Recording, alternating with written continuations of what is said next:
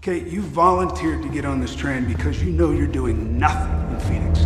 Okay, you're just sweeping up a fucking mess.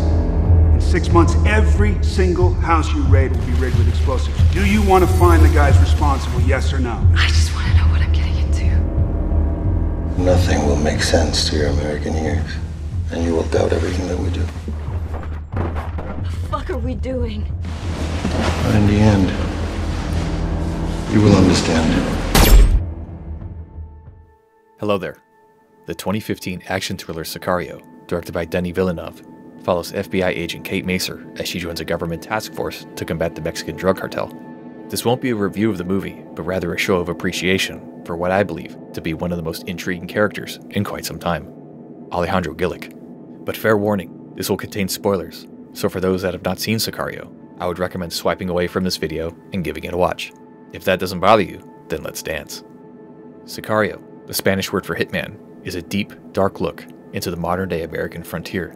We first center on Kate, an FBI agent who has been the head of a kidnap response team for three years. She and her partner Reggie have tracked down several Sonora drug cartellers to a safe house in Chandler, Arizona. Here, they intend to find and rescue hostages taken by the cartel, but after clearing the house of the baddies, they find that the walls are packed with dozens of human corpses unrelated to the hostages they had originally set out to rescue. She is subsequently handpicked by CIA officer Matt Graver to possibly join a government task force. The mission? Apprehend Sonora drug cartel lieutenant Manuel Diaz.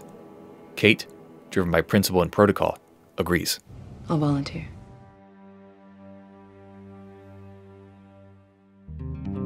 It is here where we are first introduced to Alejandro.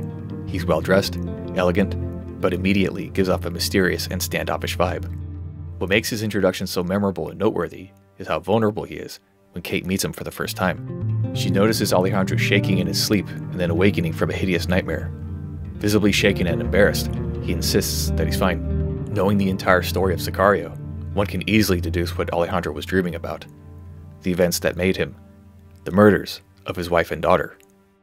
In order to begin detailing the character of Alejandro Gillick, we need to examine the past that pushed him towards the life of a Sicario. Alejandro was once a prosperous attorney in Juarez, Mexico. He prosecuted against members of the Sonora drug cartel, and in retaliation, his family was killed at the blessing of drug cartel overlord, Fausto Alarcon. No fue personal.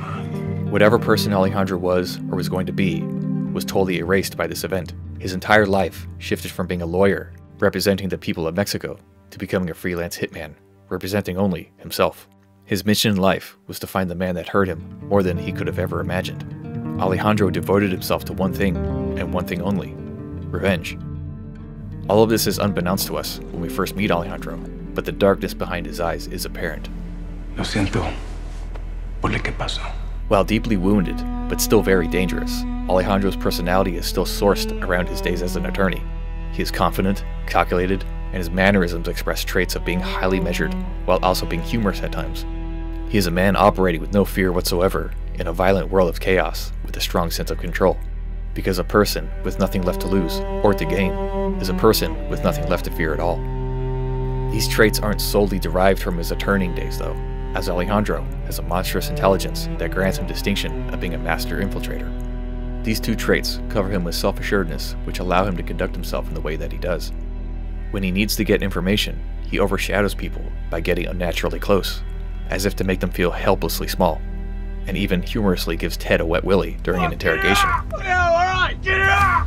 Motherfucker! Fuck you! Imprisonment, expert surveillance, manipulation, and murder. These are all tools for Alejandro, but under the handling of Matt Graver, who shares a parallel mission with Alejandro in taking down Fausto Alarcon. The relationship between Alejandro and Graver is one based off of immense respect and trust. Graver is well aware of Alejandro's past and his usefulness, Alejandro, on the flip side, is well aware of Graver's necessity to operate within U.S. federal laws, which limit his capabilities in going after the cartels. But he still understands Graver's determination and relentless nature to bend the rules, not break them. Together, Alejandro and Graver are a perfect storm.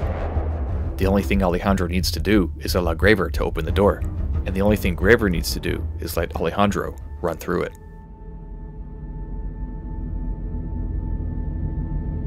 Once Graver provides Alejandro with a straight shot towards Fausto Alarcon, the CIA can just sit back and watch as the shape of what used to resemble a happy man cuts the leg off the entire drug world, thus enacting Medellin. Medellin.